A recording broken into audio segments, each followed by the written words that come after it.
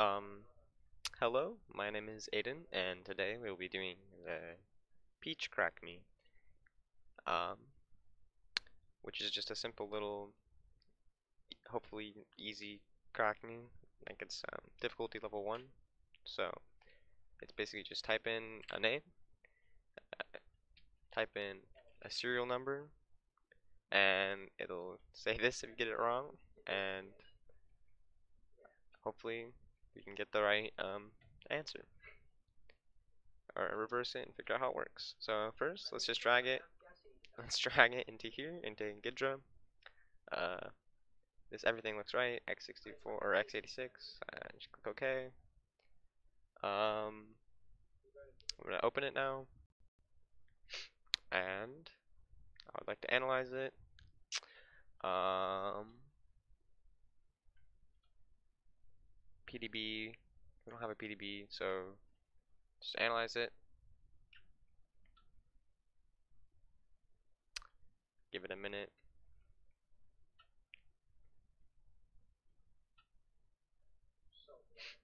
Alright, this is in the way, but it looks like we're good.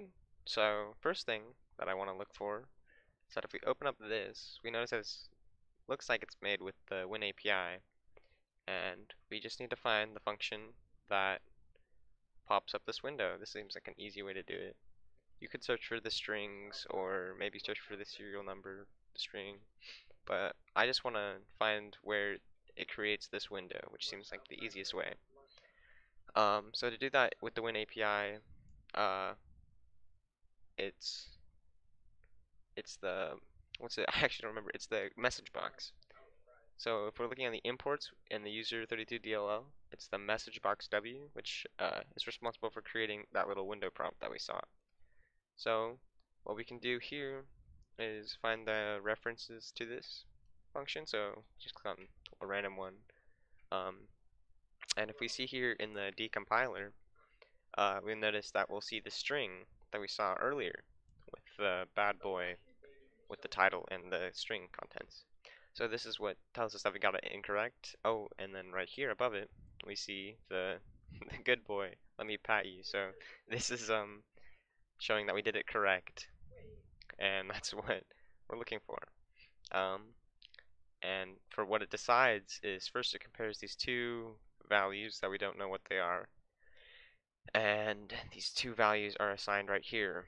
One is uh, ATOI, which is a function that converts um, a string into an integer. Uh, and then here we have var2, which is some function that we don't know, and then this stack variable.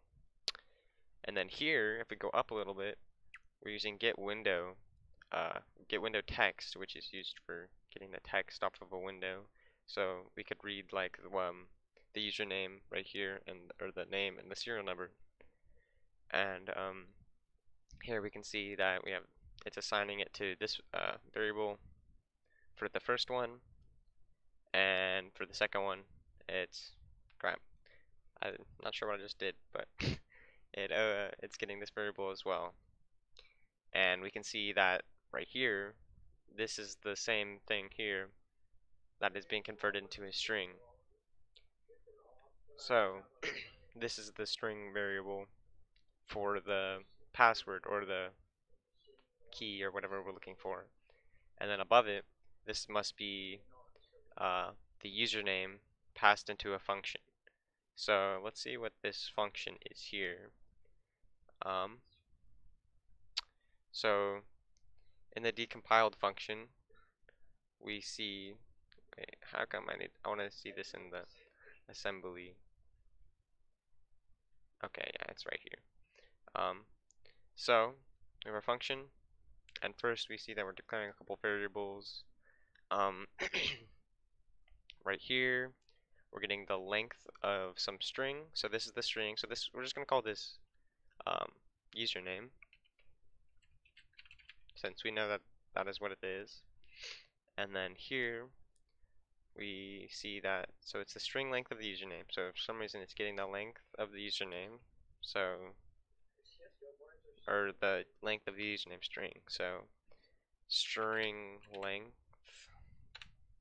and then here we're doing some sort of comparison here and then breaking if it's uh, true. So if the string length is less than or equal to local 20. Local 20 is 0, so this is just an index variable, so just call it i for index. And here we have some local 1c something else, and that is used in the return um, variable. So we notice that it's local c is multiplied by this value and then added or kind of basically essentially subtracted negative 3000 and then divided by 2 and then subtracted um, the username casted to an integer. So what we can do here is since we know that this is our uh, I don't even want to know um, or what to say for this this is our um, I don't know let's just call it username stuff.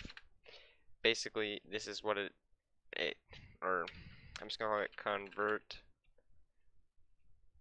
uh, name. I don't know. So this is the thing that compares the username with the password so if we can find out if we can emulate this we can create the password so let's just do that so here I'm gonna open up a Visual Studio project here on this side. And here is our code that we're going to essentially copy. So first we need to have our username. So I'm going to make a, a, a, char pointer or a, yeah, char pointer username equals uh, Aiden. Sure. Pretty sure I'm to have to cast this to a char pointer and then put a bracket there. And then um, next we want the int string length. We have int i, int, uh, what do we want to call this file? We'll just call it return value. Uh, int return value.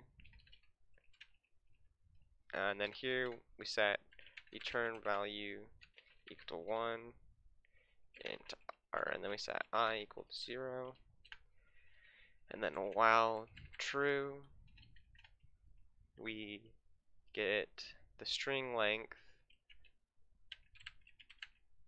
string length equals string or strlen and then our username. And we're gonna need to cast this to an integer.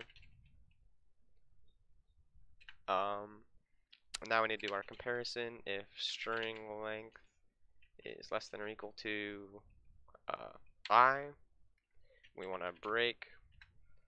Now we want to do return value plus plus equals username i and now we want to increment our index value and then finally we want to I'm just going to copy this essentially, the return value. But since this isn't actually a return function, we just want to say int uh, pw for like password or something equals this. So what we could do is we can uh, print or std cout pw std endl and this should print out our new password with so basically this is literally just emulating what's happening here. So if we run this we it prints out this password right here. And hopefully if we open up the crackme type in Aiden and then this serial number which we're is our password. Uh, good boy. You're such a good boy. So, that means we got it correctly, and we did it without patching anything. And we click here, under the About section, we followed all the rules, no patching, we didn't brute force it, and we uh, made a keygen. So, there we go. And just to prove that this isn't just another thing, or that it wasn't some fluke or something, we can change this to test or something, and then we can build it. Our keygen right here. Oops. Where's the... That's not the right one. what have I done? I think I closed. Okay, so we copy this, which is the test, and if we open up this, paste in our new thing, it'll work. But if we see if we change it to something else, it doesn't work. So that's pretty cool if you ask me. uh, we did it.